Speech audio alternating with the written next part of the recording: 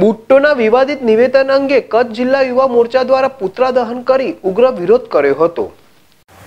પાકિસ્તાનના વિદેશ પ્રધાન બિલ્લાવલ ભુટ્ટોએ યુએનએસસી દેશના વડાપ્રધાન નરેન્દ્રભાઈ મોદીના વિરોધમાં બિન સંસદીય ભાષાનો ઉલ્લેખ કરી ગેરવ્યાજબી નિવેદન આપેલ છે.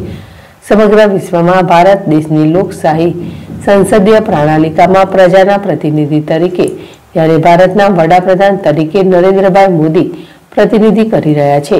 ત્યારે પાકિસ્તાનના વિદેશ પ્રધાન દ્વારા જે ભાષાનો ઉપયોગ કરવામાં આવ્યો છે, તે શબ્દો સમગ્ર ભારતના પ્રજાજનો વિરોધનો નિવેદન કરવામાં આવેલ છે.